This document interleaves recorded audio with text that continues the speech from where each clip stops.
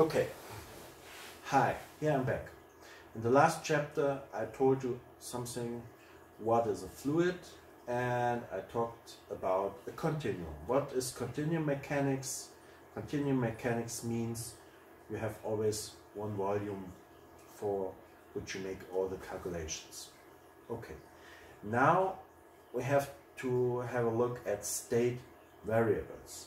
And I, I want to mention before I start this chapter, you might know all the state variables from your physics classes, but I want to mention them again because they are really important here in fluid dynamics lessons. And I can also tell you we will not have so many state variables here now.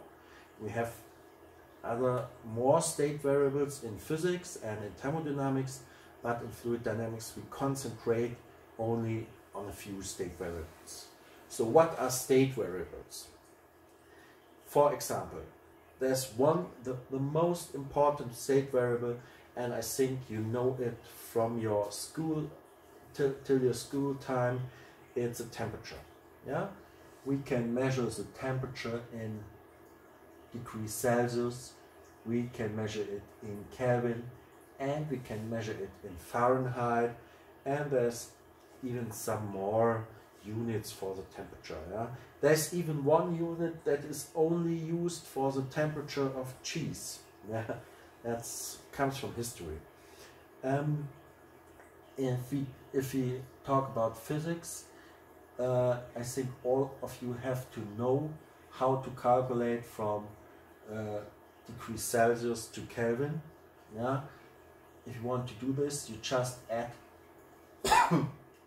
237.15 degree Kelvin to calculate from the temperature in centigrade. So for example, if you have a temperature in Celsius of uh, 20 degree and you want to have the temperature in Kelvin, you just add 273.15 to 20 and then you get 293.15 kelvins. Okay, so the temperature is most important uh, property state variable.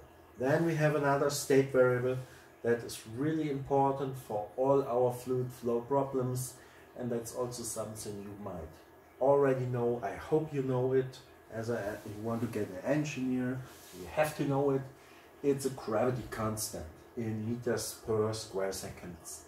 And how big is a gravity constant on Earth?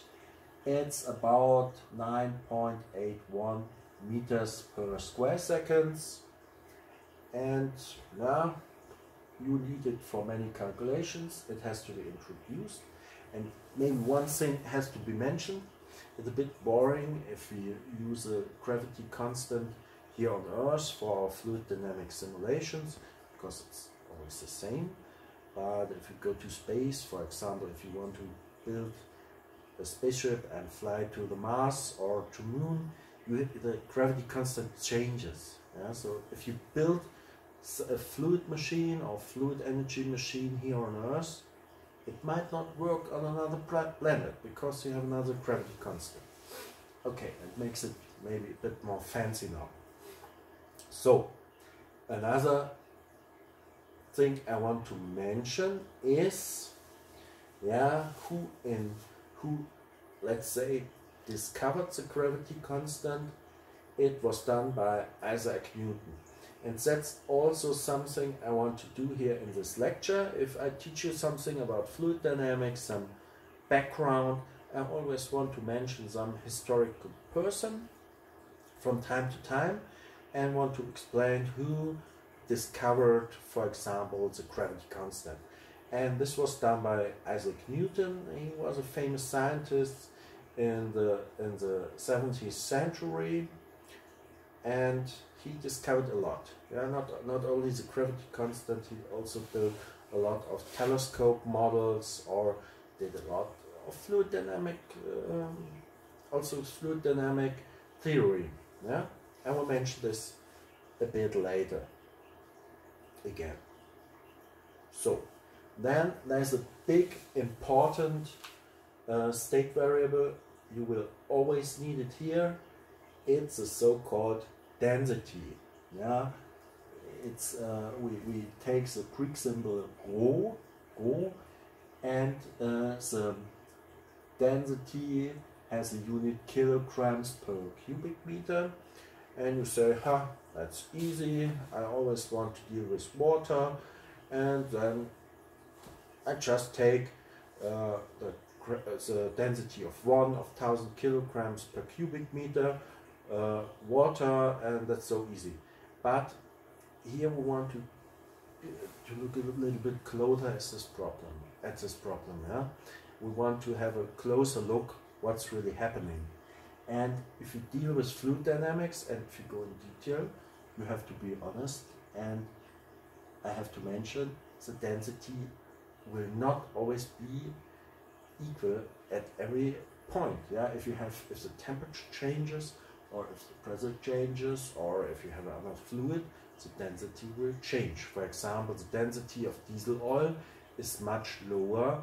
It's it's about 820 kilograms per cubic meter than the density of water which is 1000 kilograms per cubic meter and it gets even worse if you the, the density will change by the temperature and the pressure.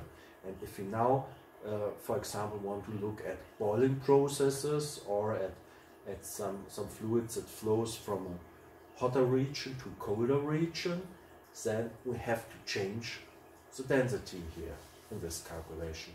This makes it sometimes really, really tough to find out. And here we also want to mention tables. How can we solve this problem? In many cases you have to look at tables, which conditions we have to find the right density for your problem. So here's an example of such a table. Yeah? For example, yeah, water at one pressure, for example one bar, and if you change the temperature, the density changes. Yeah? And if you have seawater, where, where you have salt inside the water, the density changes. Or if you have air, that fluid, the density changes a lot by the pressure or by the temperature. Now you know this, otherwise the balloon will not fly.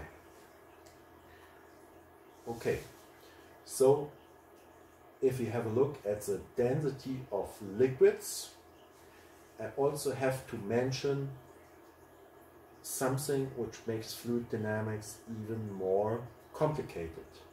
We can have so-called incompressible fluids and compressible fluids. What does it mean? What is an incompressible fluid and one is a compressible fluid? Yeah, let's start with the incompressible fluids.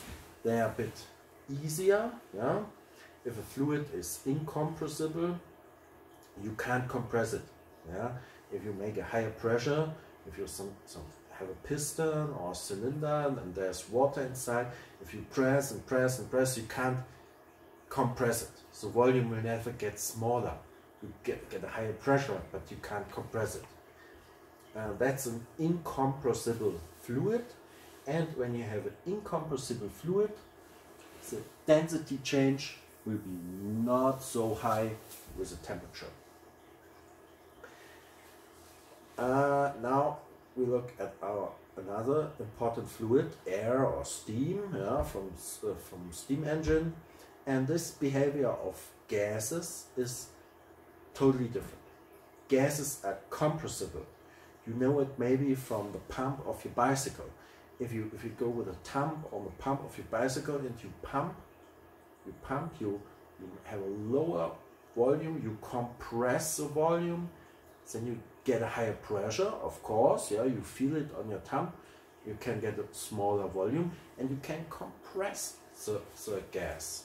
And that's a big difference if you compare uh, incompressible fluid like water to compressible fluid like gas. And let me tell you, if you come to the exercises and you have to do some calculations, um, compressible fluids are always more difficult to calculate if you compare them with incompressible fluids. And uh, what does it make more complicated? If we have compressible fluid, we have the so-called ideal gas law. Yeah? I show it here to you. P, yeah, we have rho, we have uh, rho is P divided by the gas constant by temperature and um, let's have a bit closer look at the, at the ideal gas law. What does it mean? Yeah? And let me tell you, we don't have this complicated behavior if we have incompressible fluids like water or, or oil. Yeah? They just have the constant density, or more or less. Yeah? So, but if we have a gas, what happens? If we have our bicycle pump and we put it down, we can compress the gas and here this behavior is described by Boyle-Mariotte's law. That's the ideal gas law more or less. We have the pressure and we if, we, if we get higher temperature, we get a higher pressure or if we get lower lower volume, we also get a higher pressure yeah, if you compress it. Okay. Or that's another description of it. If you have, yeah, like maybe think about your pot. If you cook something, if you have a, have a air and water steam inside the pot, you make it hotter. It also expands. The volume will get bigger. You get faster movement of the molecules, and you would get higher pressure. That's also the same law, the ideal gas law. Okay. Uh, let's go a bit faster here.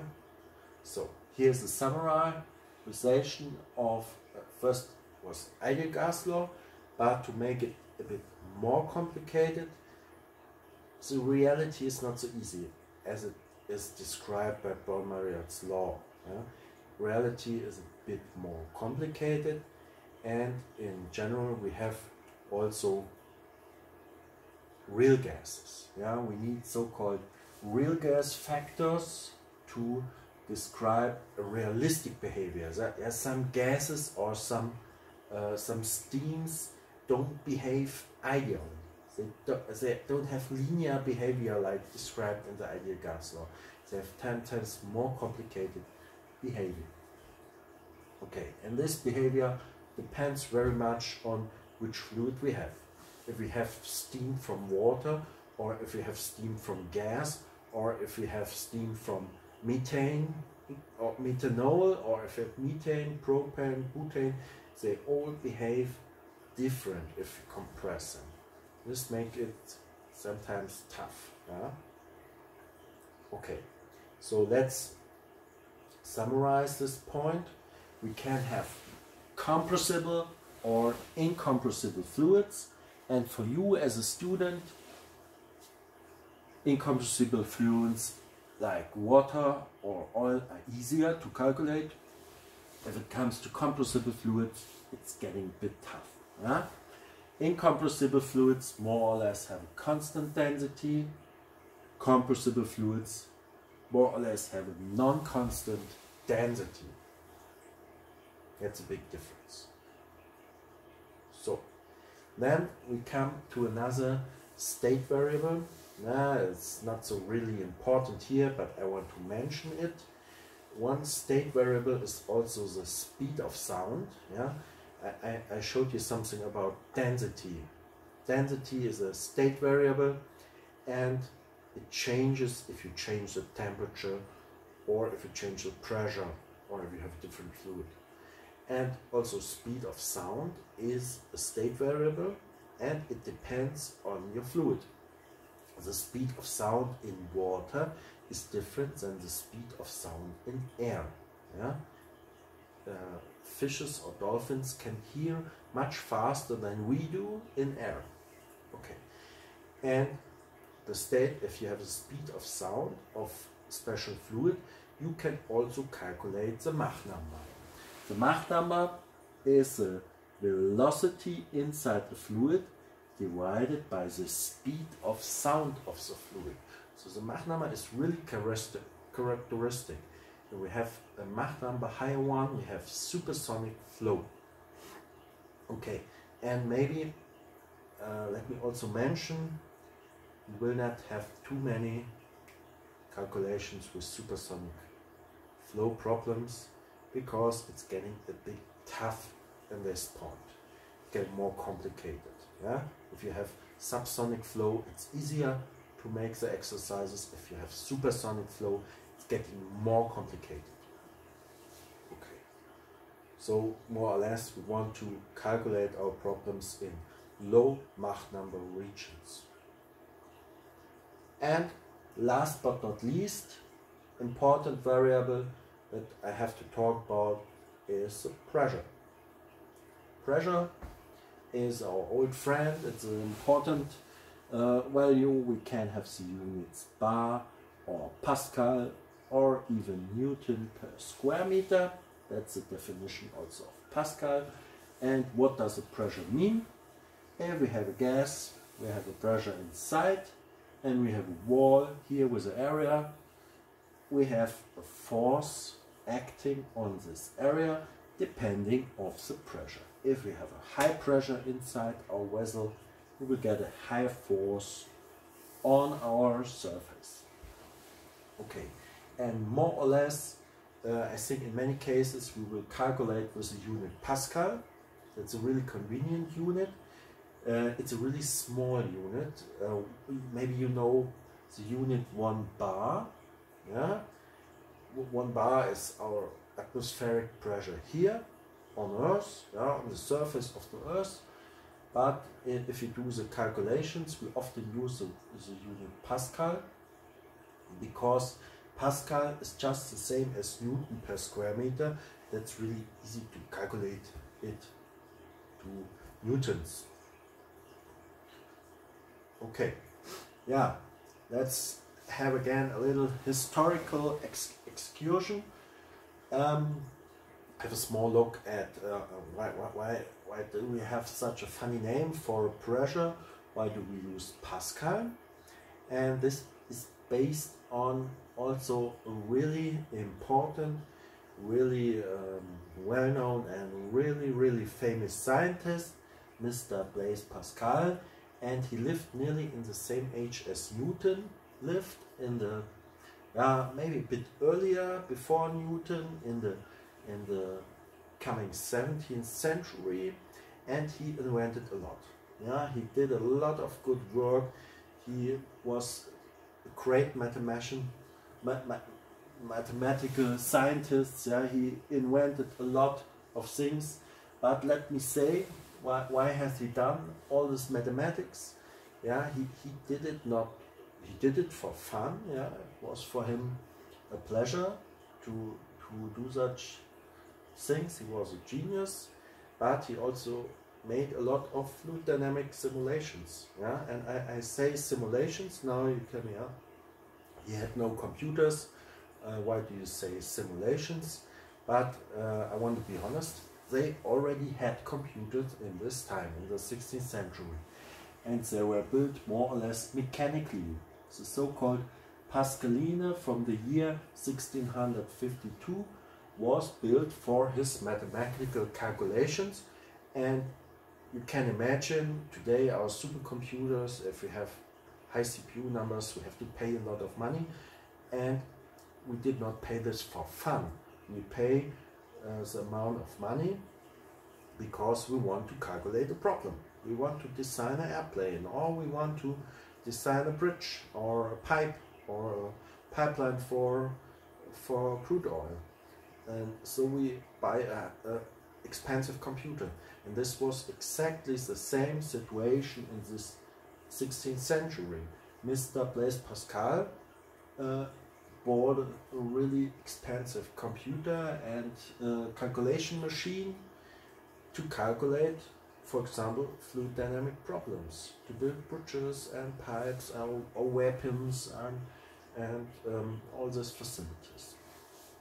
Okay so maybe I want to um, yeah to introduce to you that the guys in these former times, the scientists had the same problems as we today. Yeah? They needed money, they had to build to solve problems. Okay, and come back to our pressure, yeah, that was named after Mr. Pascal. Here we have here a surface, we have an acting force which was which comes from the pressure.